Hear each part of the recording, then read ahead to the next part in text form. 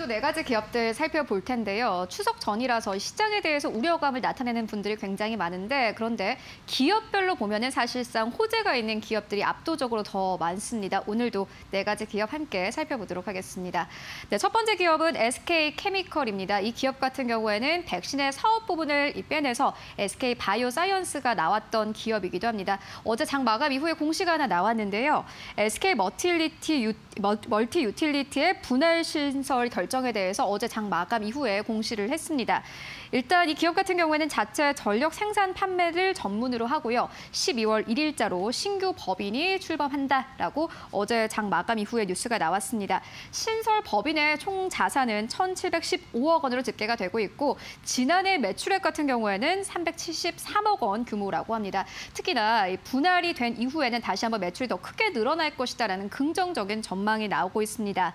IPO 일정에도 관심 이 높아지고 있는 상황인데 이 기업 같은 경우에는 보니까 외국인들이 4거래 연속 매수세를 나타내고 있는 상황이고요. 기관은 5거래 연속 매수 포지션을 나타내고 있습니다. 관련된 주가 흐름 잘 따라가 보시면 좋을 것 같습니다.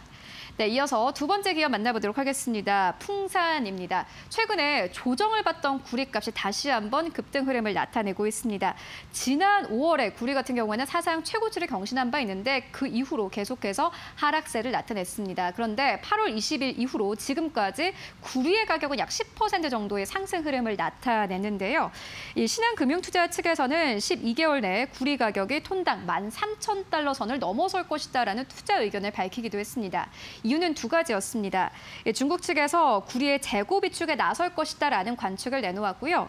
더불어서 알루미늄으로 이동했던 정반 전방 산업의 수요가 다시 한번 구리로 넘어올 것이다라는 관측들 내놓고 있습니다. 특히나 이 풍산이라는 기업 같은 경우에는 구리의 가격 과 강하게 커플링되는 기업이기 때문에 관련된 구리의 가격 그리고 풍산의 주가 흐름까지 함께 커플링해서 잘 살펴보시면 좋을 것 같습니다.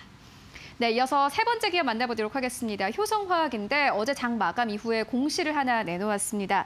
217억 원 규모의 신규 시설에 투자를 결정했다라고 공시를 했습니다. 자기 자본의 5.4%에 해당하는 규모라고 하는데요. 특히나 이 섬유 그리고 자동차 부분에 쓰이는 폴리프로필렌의 PP 시험 설비를 구축을 위한 것이다라는 어제 공시를 내놓았습니다. 투자 기간이 2023년 3월 31일까지라고 하는데요. 효성화학 측에서는 글로벌 수준의 공정과 품질 경쟁력 확보를 위한 것이다라고 이 의견을 밝혔습니다. 관련해서 또 어떻게 시장에 영향을 미치는지 잘 체크를 해보시면 좋을 것 같습니다. 네, 이어서 마지막 기업 만나보도록 하겠습니다. LG 이노텍입니다. 오늘 포털 사이트의 뉴스 랭킹 1위에 올라와 있는 뉴스였는데요. LG 이노텍 같은 경우에는 세계 최고 성능의 친환경 자석을 개발했다라는 뉴스가 나왔습니다. 중 히토류 비중을 60%가량에 줄이는 동시에 성능은 끌어올렸다라는 평가가 나오고 있습니다. 특히나 마그넷은 필수적으로 사용되는 산업 소재로 일본 업체를 앞지는 하나의 성공 사례다라는 평가까지 함께 나오고 있는 상황인데요.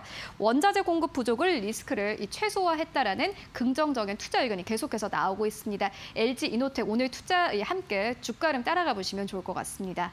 네, 지금까지 네 가지 기업 살펴보고 왔습니다.